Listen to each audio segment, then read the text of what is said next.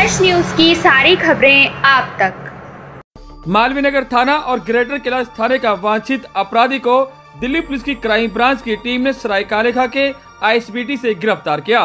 Crime branch के special CP Ravindra Singh Yadav ने मंगलवार की रात दस बज के बीस मिनट पर मीडिया को बताया कि दिल्ली पुलिस की क्राइम ब्रांच की टीम ने गुप्त सूचना के आधार पर सराय कालेखा के आईएसबीटी से एक वांछित अपराधी को गिरफ़्तार किया है। वांछित अपराधी मालवीय नगर थाना और ग्रेटर कैलाश थाने का वांछित अपराधी है।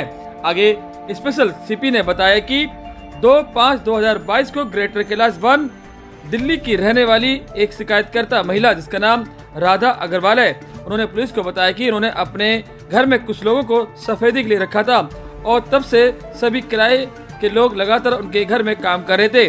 और आगे बताया कि 15 पाँच 2022 को वह बाज़ार गई और जब वापस लौटी तो उनके घर का मुख्य द्वार का ताला टूटा हुआ था और घर के अंदर 25 लाख रुपए गायब थे। इस संबंध में मामला दर्ज किया था, जिसकी प्राथमिक संख्या नंबर 135 बटा बाईस, धारा तीन सौ अस्सी, चार सौ चौवन बटा चौतीस आई के तहत ग्रेटर कैलाश थाने ने मामला दर्ज किया था।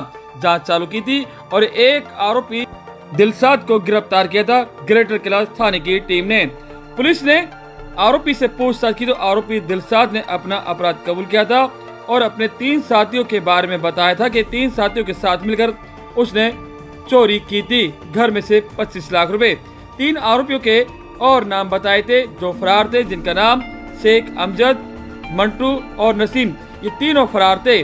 आखिरकार दिल्ली पुलिस की क्राइम ब्रांच की टीम को गुप्त सूचना प्राप्त हुई थी कि ग्रेटर कैलाश थाना क्षेत्र में एक घर से हुई चोरी के मामले में एक आरोपी को सराय खालिखा के आईएसबीटी पर देखा गया है। गुप्त सूचना पर कार्रवाई करते हुए एक टीम बनाई गई थी, जो कि क्राइम ब्रांच के joint CP H D Mishra और डीसीपी राजेश देव के निर्देश पर एसीपी सुशील के देख रेख में इंस्पेक्टर विकास राणा के नेतृत्व में एक टीम बनी थी। इस टीम के अंदर ASI Sanjeev, head constable Deepak Tyagi और हेड कांस्टेबल अनुज इस टीम में शामिल थे।